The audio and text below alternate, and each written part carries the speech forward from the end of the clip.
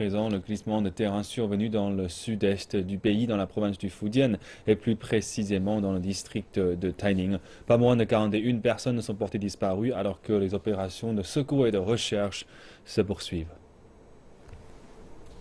Dimanche dernier, des signes de vie ont été détectés à trois endroits. À l'heure actuelle, les secours se concentrent sur le sol restant. La configuration du site nécessite l'utilisation d'engins pour venir en aide aux secouristes. Plus de 500 personnes ont été affectées aux opérations de recherche. Par ailleurs, les pluies incessantes font craindre un second glissement de terrain. La catastrophe s'est produite dans la matinée de dimanche dernier. 100 000 mètres cubes de boue et de roches ont enseveli une centrale hydroélectrique en chantier.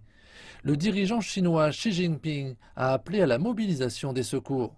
Dimanche soir dernier, les autorités locales ont tenu une conférence de presse faisant un point sur les opérations de secours.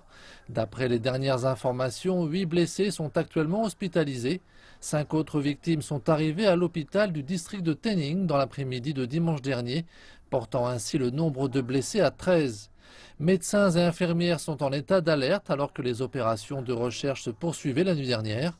De plus, une centaine de membres du personnel médical des villes environnantes ont été appelés à joindre les équipes de secours. Pas moins de 160 000 millilitres de plasma sanguin ont été préparés pour pallier la découverte possible de nouveaux blessés.